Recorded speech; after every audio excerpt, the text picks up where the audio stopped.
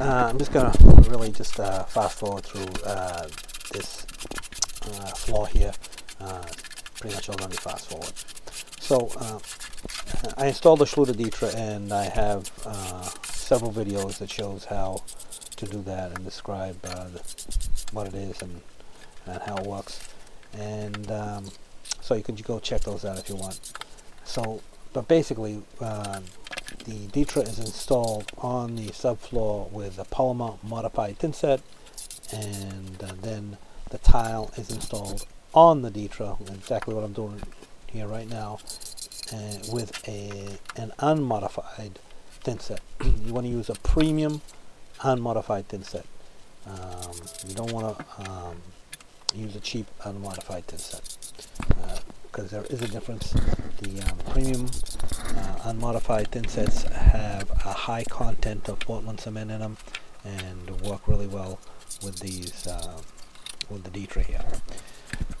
So anyway, so uh, you want to always make sure that uh, you backbutter the tiles with the flat side of the trowel before you set them into the thinset. And this is because a lot of time times the the backs of the tiles have a pattern and these patterns sometimes can be uh, quite deep.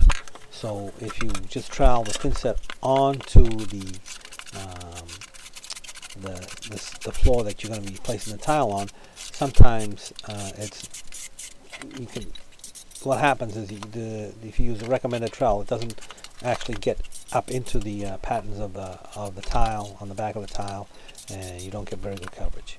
So by back buttering the tile, you get uh, and you're ensured good coverage uh, when you set the tile in place. And um, this way you don't have to use a really big trowel. Uh, what I'm using here is just a regular 3 8 inch by quarter inch square notch trowel. Uh, so um, you know, a combination of uh, this trowel and the back buttering is plenty of thinset uh, to install this tile.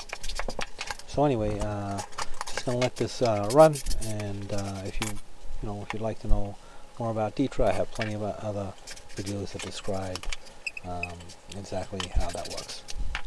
So uh, next up is going to be the grouting of the floor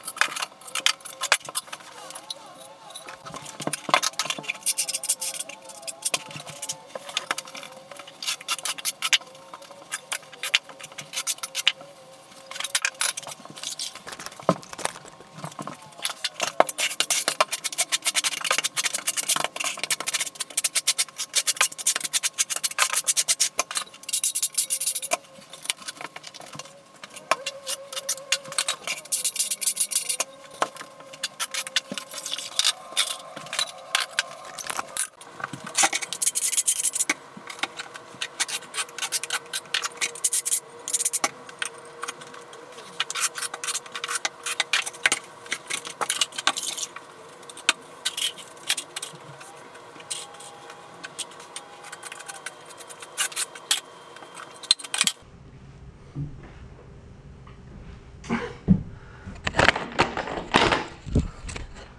that's the floor.